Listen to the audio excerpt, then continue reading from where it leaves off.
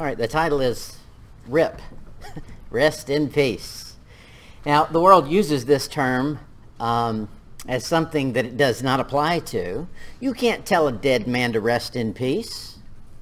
You think he's deciding whether or not he's resting in peace? If he's in heaven, he's at peace, but he ain't resting. He's praising God. If he's in hell, there can be no peace. And there he's not resting either. So the term doesn't mean anything for a dead person. It means something for you. Every night you want to do this, don't you?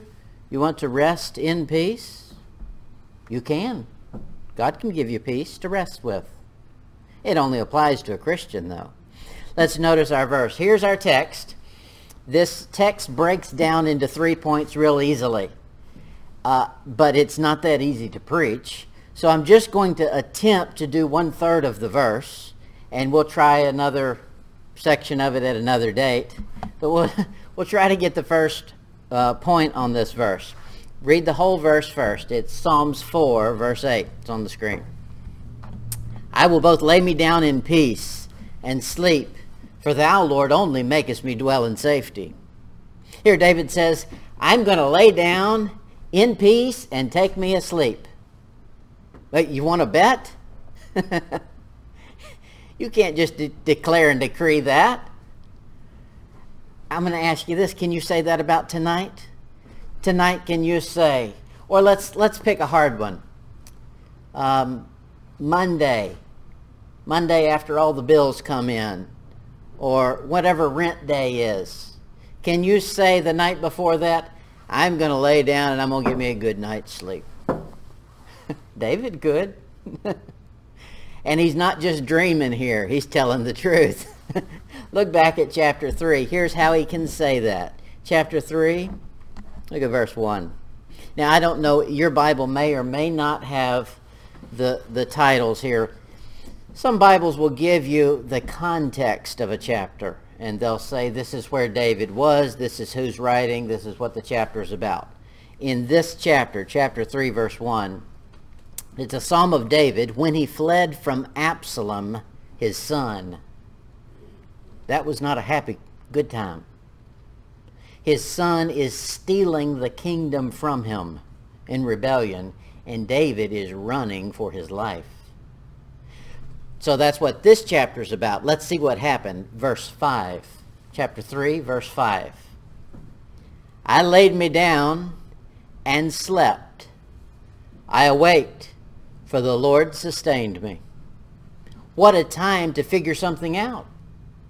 He figured something out right in the midst of running for his life. He said, you know what I found out? I can lay down and go to sleep, and I can wake up knowing that God took care of business for me. That's pretty good.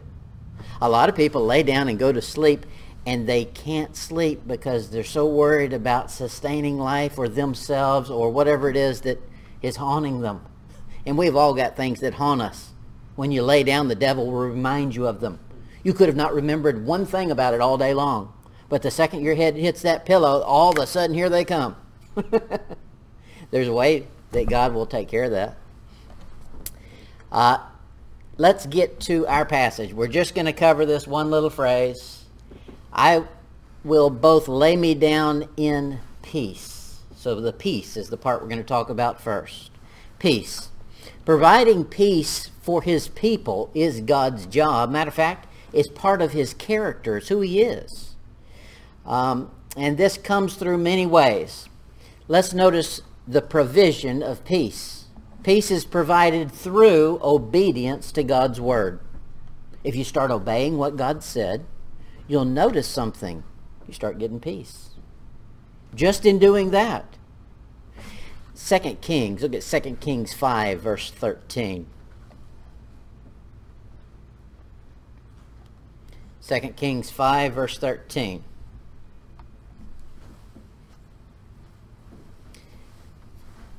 Second Kings 5.13. Anybody know what this story is? Second Kings 5.13. Amen. That's right. He was the leper. And this is how he's going to be healed is through a means that he wouldn't have prescribed himself. Verse 13. His servants came near and spake unto him, and said, My father, if the prophet had bid thee do some great thing, wouldst thou not have done it? How much rather, when he saith unto thee, Wash and be clean? You know, God's word tells us some simple things to do. The problem is most of us aren't willing to do the simple things. The things that we know to do. Not these great you know, it would be great if we could sit down and say, you know, I'm going to, I'm going to come up with the way that this problem works, and it's going to just amaze all of, you know, Christendom, and you know, I'm going to put together a chart that makes the Bible clear, and nobody's going to ever doubt it again. Well, it, it probably not. that would be a great big thing, and everybody'd love to do that. But there is, there is some things we can do. We can be thankful. Well, that sounds so mundane. But he says we're always to be thankful. We can pray without ceasing. That's a small thing. Here, Naaman, he wasn't going to get healed if he wasn't willing to do the simple thing. Go dip in the muddy river. if you want healing, that's where it starts, doing the simple things. Now let's look down at verse, uh, look at verse 19. He's finally healed. He goes back to the man and says, hey, look, you wouldn't let me do something mighty to get healed. Now let me give you something extraordinary to prove I'm thankful. And the man of God says, no, don't need that. That's not what it's about. Verse 19.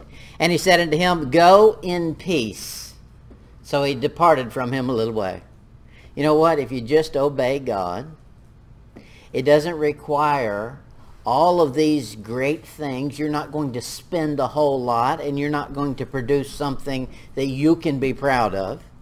See, if Naaman had been able to give Elijah, Elijah or Elisha, who is it here?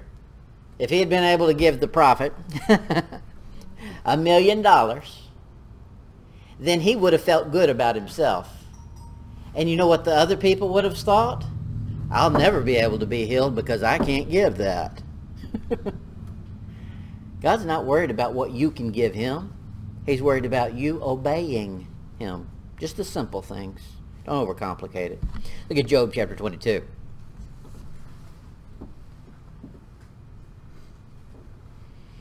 Job 22 verse 21. We're going to make three subpoints to our main point and until we get to the very last point I'm just going to keep you in the Old Testament so that we can keep this down to about four hours. Uh, he says, Job 22, verse 21, Acquaint now thyself with him, be at peace, thereby good shall come unto thee. Boy, wouldn't that be nice? Get acquainted with God. You know what comes with it? Peace. Maybe you don't know enough about God. Well, there's one book that's going to tell you about him. Only one. There's other people that'll write books about him and they may or may not be right. You better get in the book he wrote. He'll tell you about him. He says, with that comes good and comes peace. Verse 22, Receive, I pray thee, the law from his mouth, and lay up his words in thine heart. That's a pathway to peace right there. Psalm chapter 85, Psalms 85, verse 8. Psalms 85, verse 8 says, I will hear what the Lord, what God the Lord will speak. For he will speak peace unto his people and to his saints. But let them not turn again to folly. Usually, when you're reading your Bible, you'll get some sort of instruction, you'll get some sort of uh, illumination. That'll be great. A lot of times you also, with it, will get a this is the good thing for you, but be careful you don't run into this because this will be bad for you. that's what we just got right there. If you want peace, that's good because guess what? God speaks peace to his people. Get in his word and you'll find peace. But he says, watch out, just because you found it once doesn't mean you can't get reprimanded. Let them not turn again to folly. So there's always, with peace, also comes the warning, you could lose it. You could, uh, and we'll get more into it as we get into the to the end of the message. But right now, we'll just leave it there. Look at Isaiah chapter 54. Isaiah 54, verse 13.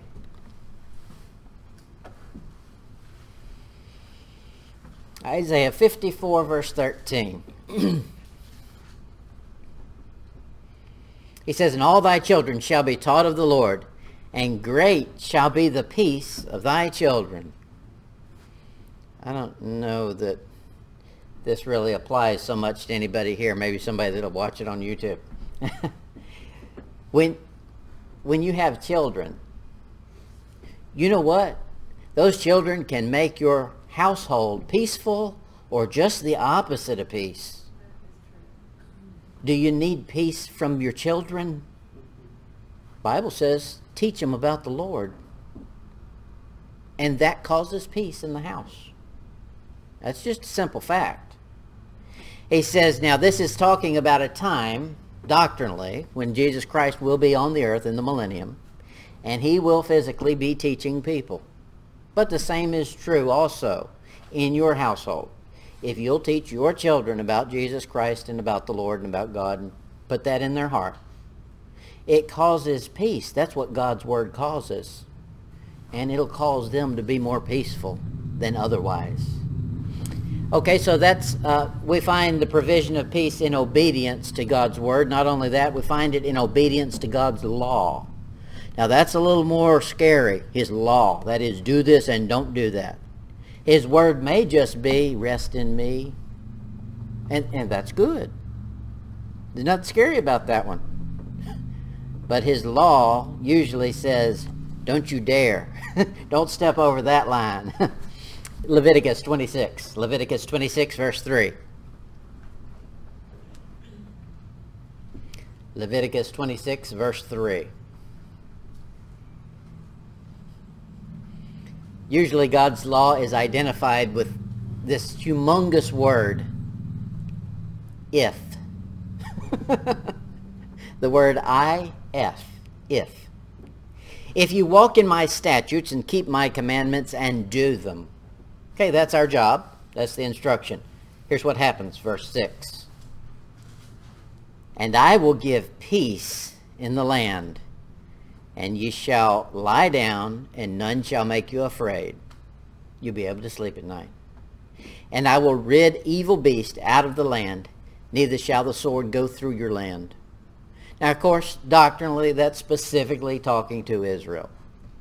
Well, you as an individual can apply it spiritually. In your life, you won't have to worry about issues that are going to come try to devastate you. If you will adhere to God's laws and commandments, then he'll take care of the rest of it. In Psalms 119, Psalms 119, verse 165.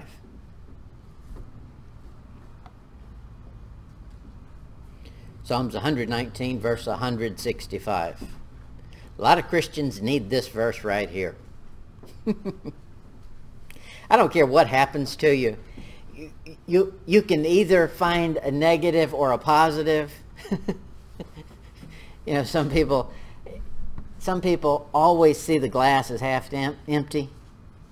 Here's what God says. God says you should be an optimist. You should see it as half full. Look at it. Psalms 119, verse 165.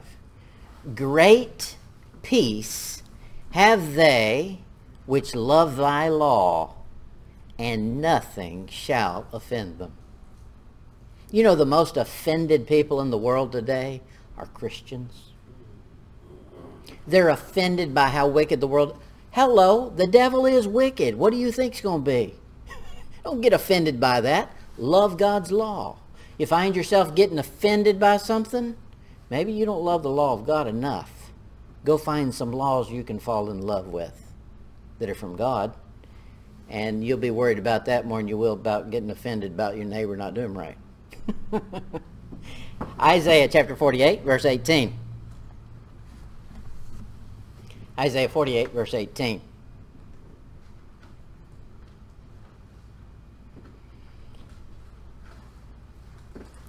Here's a lament, Isaiah 48, 18. Oh, that thou hadst hearkened to my commandments, then had thy peace been as a river, and thy righteousness as the waves of the sea. Hmm. God said when people refused to obey his commandments, they forsook peace, because that's what would have come from obeying the commandments. God's not some ogre up there. He put the rules in here for a reason, so you can have peace. not only that, uh, it comes, finding um, peace comes from the things associated with the law. I'll say the provisions of the law. In Deuteronomy 30, look at verse 15.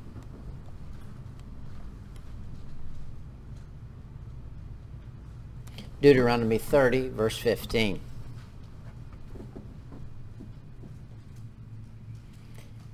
He says, See, I have set before thee this day life and good, and death and evil, in that I command thee this day to love the Lord thy God, to walk in his ways, and to keep his commandments and his statutes and his judgments, that thou mayest live and multiply, and the Lord thy God shall bless thee in the land whither thou goest to possess it. Ask somebody sometime, do you love God? Most Christians would chime in on that one. Oh, yes, I do. Okay, that's step one. Do you know what step two is? Let's find it. He says, I've commanded thee this day to love the Lord thy God, to walk in his ways. Are you doing that? You're walking in his ways? Can you identify when it's his way and when it's no, not his way? Okay, so you'll know which one you're doing. Are you keeping his commandments? Do you know his commandments? Are you keeping them? you know what his statutes are? You know the difference between commandments and statutes? How about his judgments? You know what those are? How do those differ from commandments and statutes? We got a lot of work to do. Just from one verse. But it's good because peace comes through it. That's what we get out of it. Not only that, uh, the provision of the house of God. Now, I know in the Old Testament, he's talking about a literal place the temple or the tabernacle where God's presence would be. And a church is not the house of God like the Old Testament had, but it's similar. When Christians get together, each Christian has the Spirit of God, and you get a whole bunch of them together, and there's a big presence of the Spirit of God. I mean, that's just a fact. Where two or three are gathered my name, there I in the midst. Well, that's true. He's also there in you, whether there's two or three or not, if you're saved. He can't leave you. okay. So, but if you get a group of Christians together and their purpose of getting together is to talk about God, buddy, there is a spirit there. There's power. And with that comes something. It sets a mood. And it should be peace. You know what they used to call a church? They used to call what you, you call nowadays an auditorium. It was not called an auditorium. It was called a sanctuary. I like that. That is protection from all the outside. You know what they have for wildlife, because everybody loves to hunt them. They have wildlife sanctuaries where you can't come in and kill them. That's what a church used to always feel like. You walked in the church and, buddy, it was just relaxing and peaceful because you didn't have to worry about the world coming after you right then. Now, as soon as you step out the door, it changes, but while you're in there. Look at Psalms chapter 23. Psalm 23, verse 6.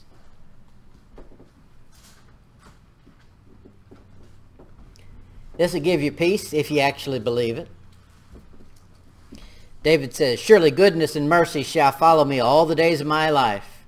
It has so far, hasn't it? Look back on your life. That'd be the conclusion. Yeah, you've had some things that were, were not feeling like goodness happen to you.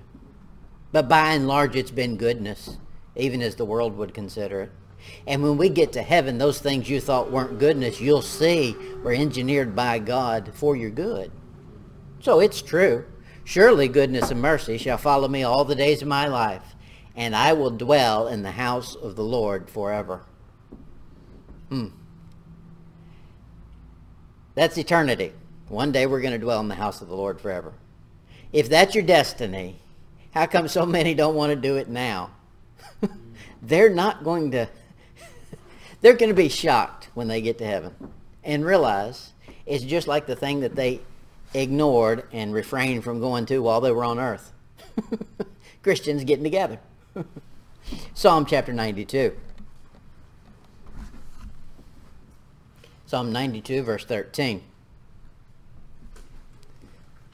Psalms 92, verse 13. Those that be planted in the house of the Lord shall flourish in the courts of our God. Now, I hate to make this point, but I'm going to. Fact of the matter is, you'll hear these people who are anti-church assembly. They say, a Christian is the church. And that's true. We are the body of Christ, whether you're in a building or not. However, we want to get together. Okay? If I cut my finger off and set it over there, that's part of my body. But don't I want that finger attached to my hand? It's a lot more useful if I attach it to my hand when we get the body together, it's better. That's just simple. Uh, he says here, those that be planted in the house of the Lord shall flourish.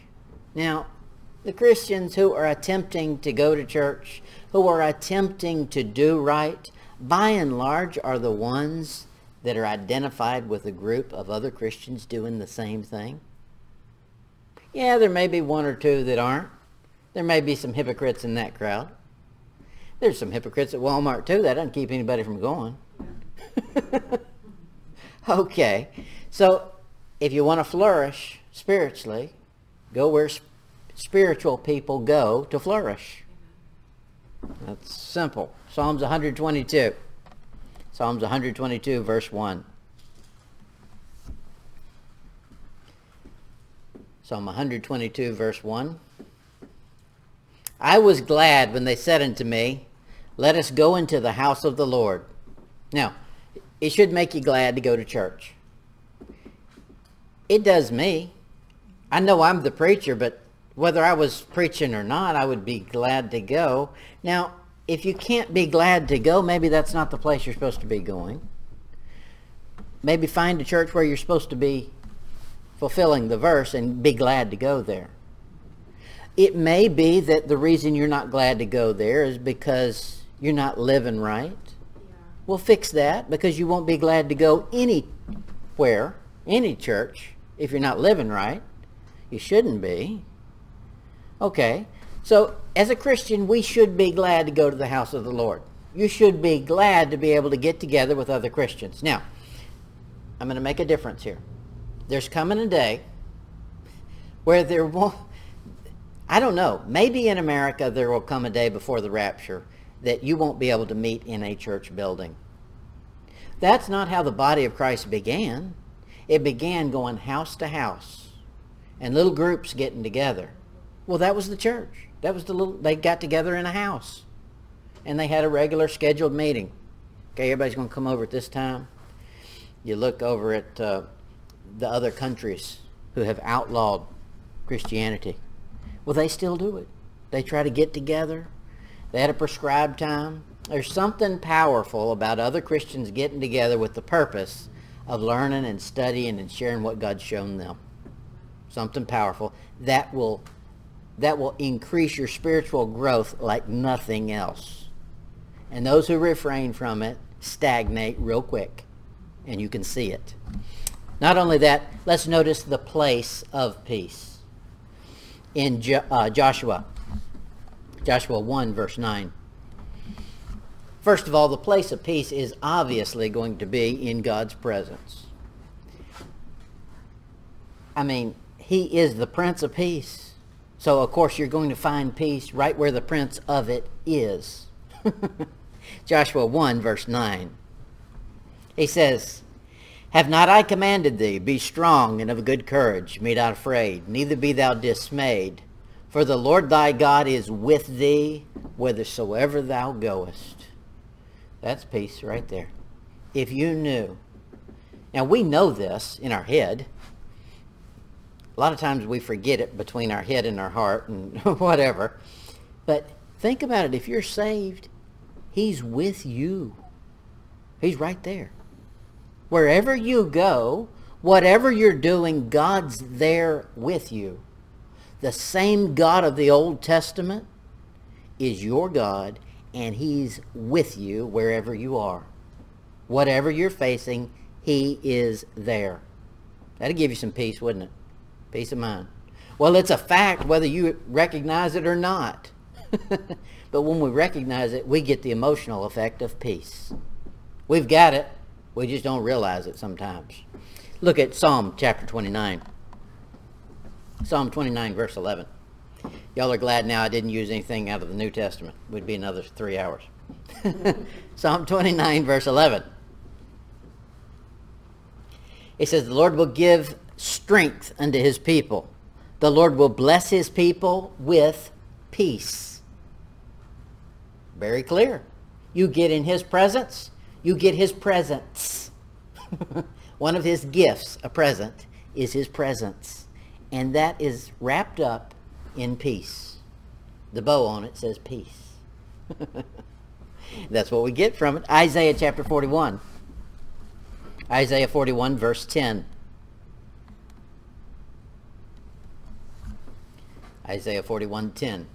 He says, "Fear thou not, for I am with thee." Okay? If God's with you, there's no need to get scared. I know that's easier said than done. but the next time you get scared, remember this. God's with me. There's no reason for me to get scared. He says, Be not dismayed, for I am thy God. I will strengthen thee. Yea, I will help thee. Yea, I will uphold thee with the right hand of my righteousness. Now, if you don't like righteousness, the rest of the verse isn't going to apply. But if righteousness is your goal, all the rest of that verse is for you. Right there. And that's a good one. That'll give you peace. Jeremiah chapter 30. Jeremiah 30, verse 10.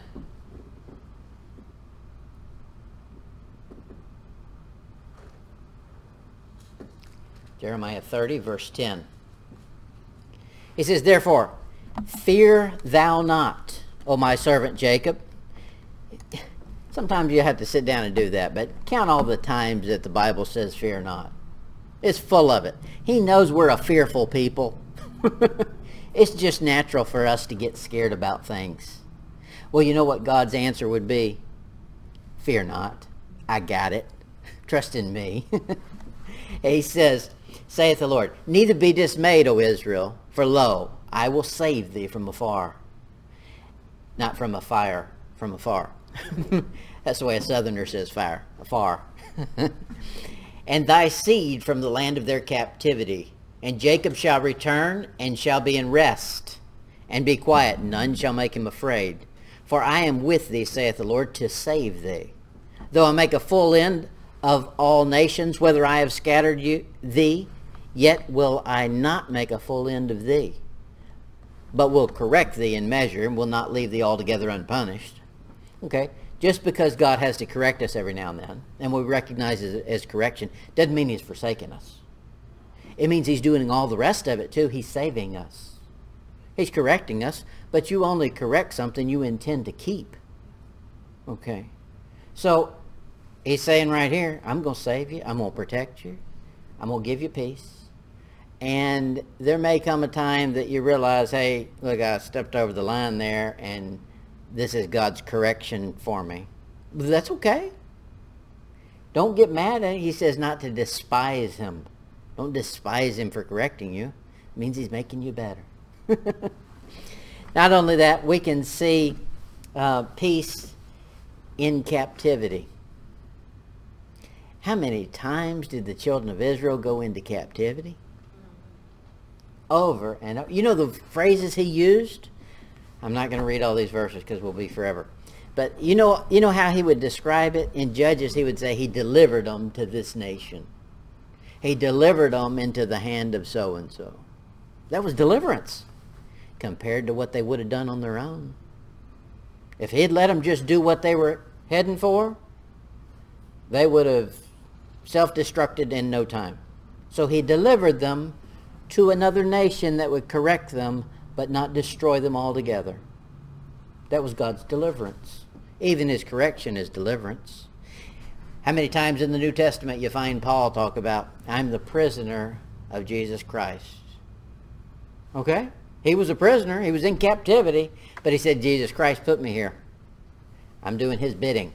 So even in captivity, we can be in the presence and have the peace of God. And uh, uh, go to one passage. Jeremiah 29. Jeremiah 29, verse 7.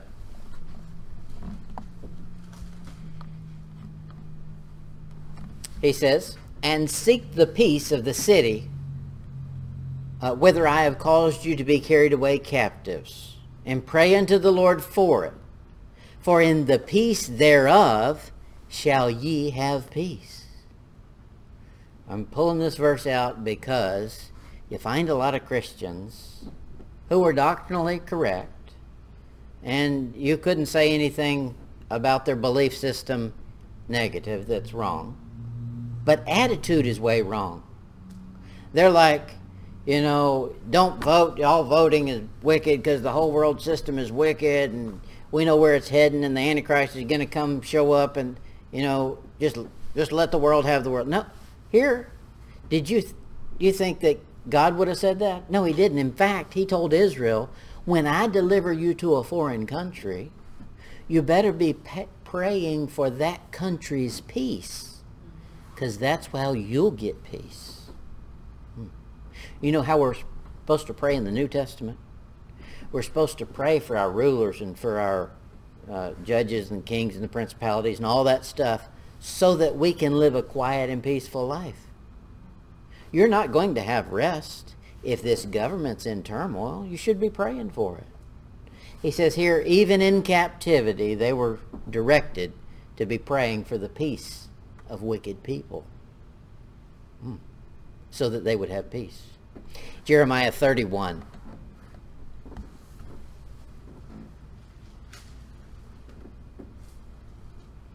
Jeremiah 31, verse 1. At the same time, saith the Lord, will I be the God of all families of Israel, and they shall be my people. Thus saith the Lord, the people which were left of the sword, uh, which were left of the sword, found grace in the wilderness. Even Israel, when I caused him to rest. You know what? God wants us to rest. Sometimes physically. It's not good to not sleep. You know, your God made your body and he made your body to get tired and want to go take a nap. It starts healing itself when you're sleeping. it's good for you. Your mind starts working again when you wake up. if you just stay up, you know, hour after hour and never get a nap or take a rest, your mind quits working because your mind says, I need a rest. I'm going to take one whether you do or not. God gave us rest on purpose. A lot of people never find rest because they don't honor the God who made that body. They may go to bed, but they don't rest. So you know what they do? They go down to the pharmacist and they say, give me some pills that'll make me rest. But it doesn't make them rest. It makes them sleep. But there's no rest. In that sleep, it's nothing but turmoil and trouble. When they wake up, they're not rested. That didn't do them any good. It's God who can give you rest not the pharmacist. Uh, not only that, we can find peace in suffering. I know that sounds harsh, but in the midst of suffering, you can find the peace of God if it's God-directed suffering. Now, if you're just suffering because you're stupid, then enjoy that too. But, uh, but if God has directed the suffering, like with Job, that wasn't Job's fault that he was suffering and God can still give you his presence and peace. In Psalms 119, look at verse 50.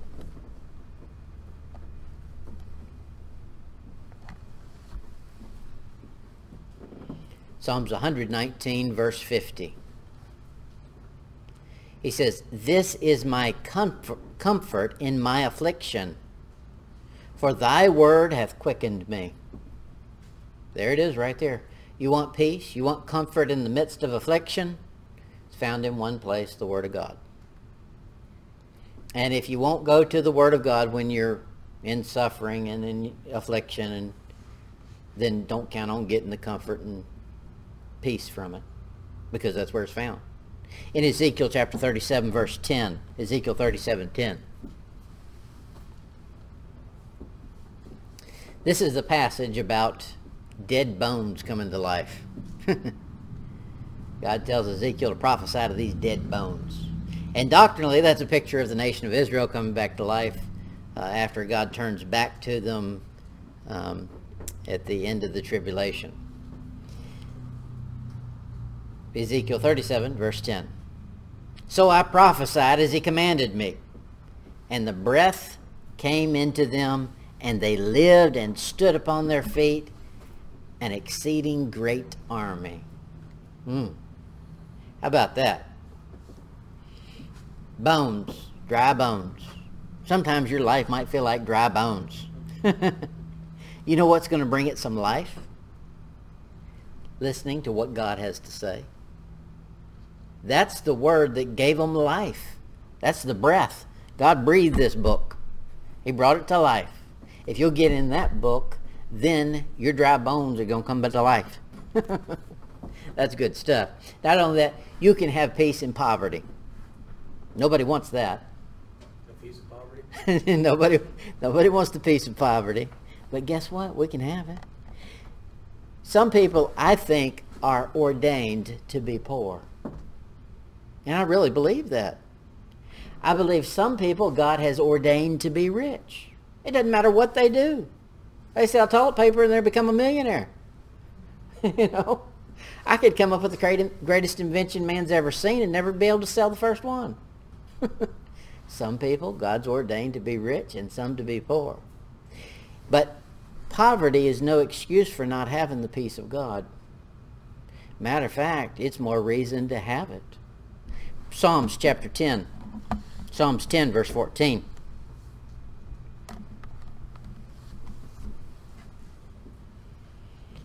Psalms 10, verse 15. Thou hast seen it, for thou beholdest mischief and spite, to requite it with thy hand. The poor committeth himself unto thee. Thou art the helper of the fatherless. Hmm. He says right there, a poor man should naturally commit himself to God. Now, a lot don't nowadays. We've gotten so far from things that should be natural for a man to do, but just by nature, a poor man should be counting on God. And he does. And if a poor man will count on God, he'll get all the gifts God gives. One of those gifts is peace. Look at Psalm 12. Psalm 12, verse 5.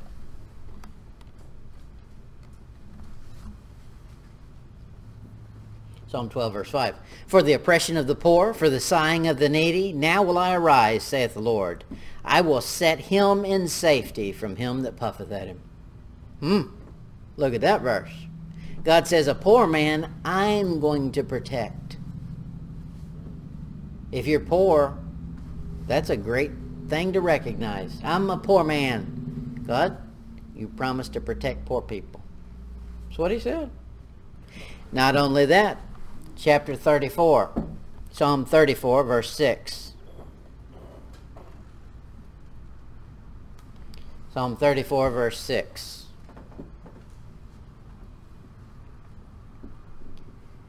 David said, This poor man cried unto the uh, cried, and the Lord heard him, and saved him out of what's that word? All his troubles. That'd be a good verse for everybody to claim, wouldn't it? You ever had trouble? How about a guarantee you won't have any? He said right there, saved him out of all his troubles. That's my life verse right there. God does. Every trouble you've had in your lifetime has now been taken care of up to this point. You may have some that have not finished being taken care of yet, but everyone that threatened to doom you in your past has not done it. because you're still here. so that's a fact. God does save you out of your troubles. Matter of fact, you can count on it. He's going to save you out of all of them. That's a good God. That's peace right there. Look at Proverbs chapter 17.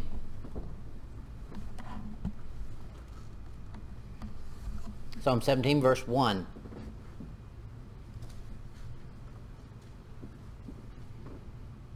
He says, Better is a dry morsel and quietness therewith than a house full of sacrifices with strife. Hmm. That, that's, uh, that's this world. They've got things backwards. They give you a credit card so you can go out and buy all this junk and then sit there with all this junk, junk surrounding you and looking you in the face and now pay three times what that junk is worth. That's not very comforting, is it? It would have been better if you had just bought one piece at a time that you paid for. And then when you looked at it, it was a blessing to you rather than haunting you. Hey, you still owe 35 times what this thing was worth. that's America today. But hey, that's a fact. A dry morsel with quietness, that's much better, much more peaceful than a bunch of junk where there's strife, where there's tension. America needs to simplify. Look at Isaiah chapter 14.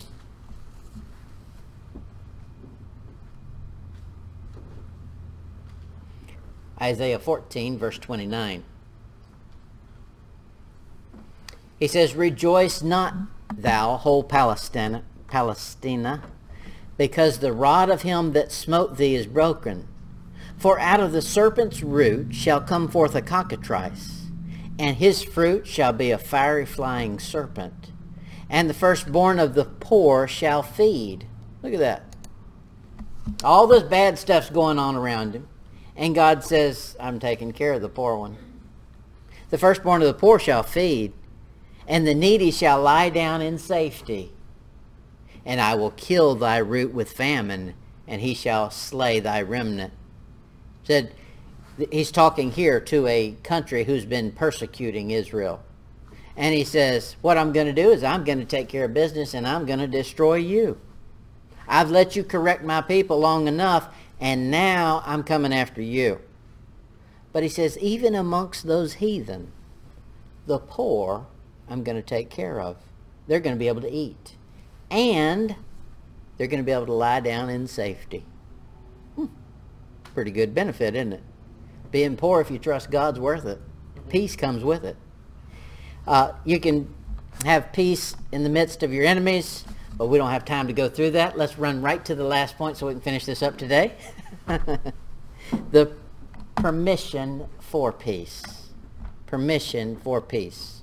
Romans chapter 5.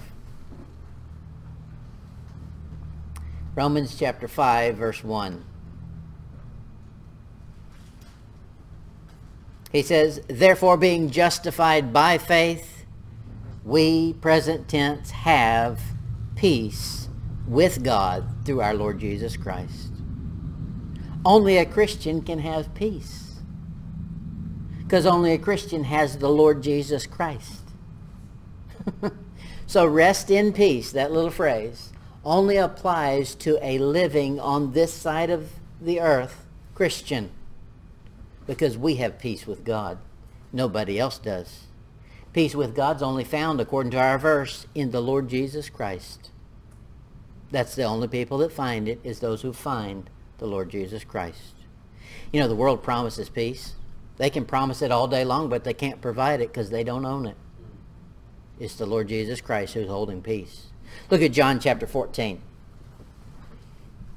John 14, verse 27. John 14, 27. This is Jesus talking here, and he says, Peace I leave with you. My peace I give unto you. Not as the world giveth, give I unto you. Now the commandment part of it. Let not your heart be troubled, neither let it be afraid. Those are the opposite of peace. and you're in control of which one wins. Jesus said, I left you peace. I've given it to you. You have it. Whether you use it or not, you have it. There's something that's more powerful than peace. It's you submitting to fear. And when you submit to fear, you no longer can see peace.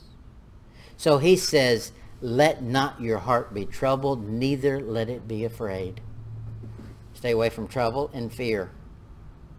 Don't let them control you, but rather let peace that he's given you. You're not working for it. You're not trying to achieve it. If you're saved, you already have it. Just use it. Let's find it one other place. Colossians chapter 3. Colossians 3 verse 15. And this will be our last verse. We have gone long today. Colossians 3 verse 15. He says, And let the peace of God rule in your hearts, to the which also ye are called in one body, and be ye thankful. Now he said right there, you have to allow it. But the thing you can allow is this, the peace of God. And what's the peace of God supposed to be doing? It's supposed to be king, ruling in your heart. It makes the rules. Fear and trouble don't make the rules. Peace makes the rules. And if fear and trouble were going to enter and overpower your heart, you know, the ruler, peace, would say, no, sir, you can't come in here. so that biblically for a Christian is the way we're supposed to live. Now we'll cover the other two-thirds of our, our verse another time. but David said, I'm going to lay down in peace. He knew he had it and he was using it we can too.